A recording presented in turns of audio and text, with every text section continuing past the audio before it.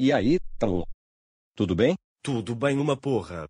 O que você acha que está fazendo? Fazendo o que você é incapaz de fazer, Troll, ser gentil. Você está enchendo a bola daquela perua para ganhar o concurso. E por que você acha que eu faria isso? Ele não precisar fazer isso, homem careca ser horrível, azul escuro se já. Ora, calça.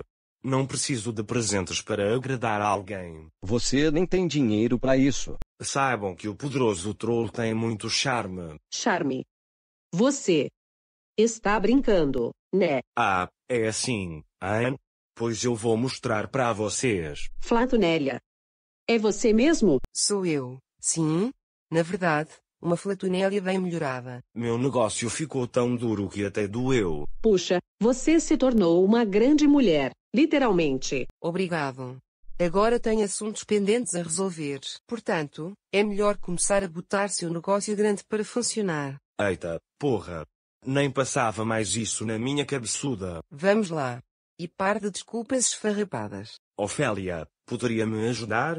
Afinal, você é bissexual. É, estou vendo que o dia de hoje vai ser longo. Hoje eu estou a toda. Porra.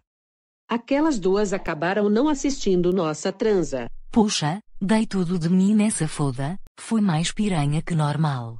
E elas nem mesmo quiseram participar.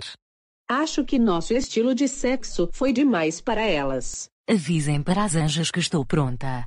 Ver isso acabou de me tirar o tesão.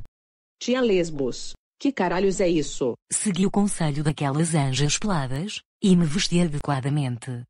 Quando chegar ao céu, tirarei essa roupa. Essas suas anjas imaginárias estão te deixando maluca. Pelo menos não fico parecendo uma piranha loura.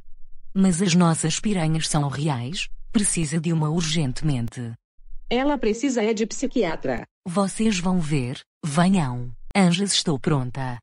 Vamos lá, o vestido é lindo. Sabia que meu tesão voltou?